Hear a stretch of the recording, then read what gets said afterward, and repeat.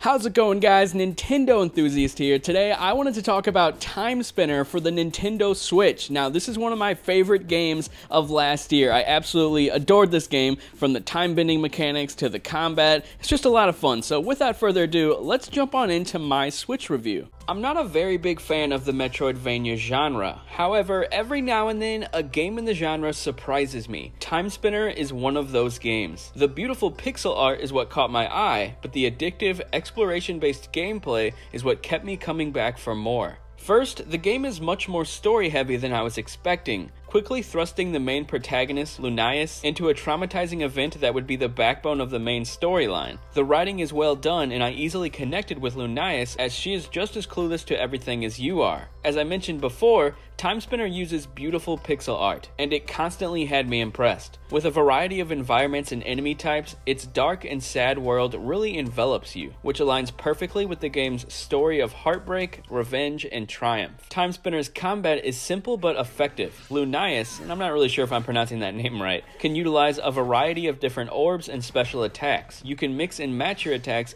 anytime you want, from throwing a Kamehameha-like energy blast to smashing foes with a giant sword you'll constantly feel like a badass. Combining different orbs and attacks is fun to tinker with, and you have three preset classes, making it easy to swap weapons during combat. There's also a cast of characters and side quests to take part in. This can lead to gaining special items or witnessing smaller story threads.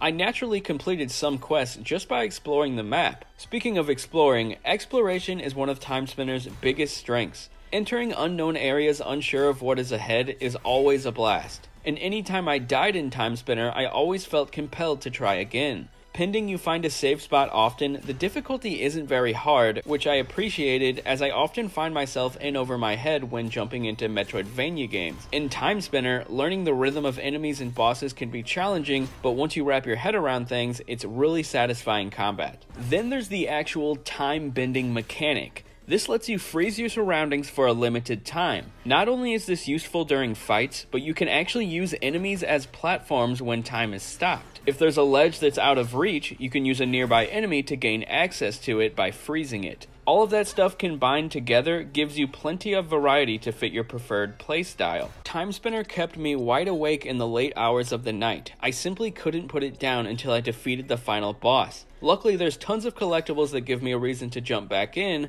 along with a new game plus mode. If you're a fan of Metroidvania games, Timespinner is a must play.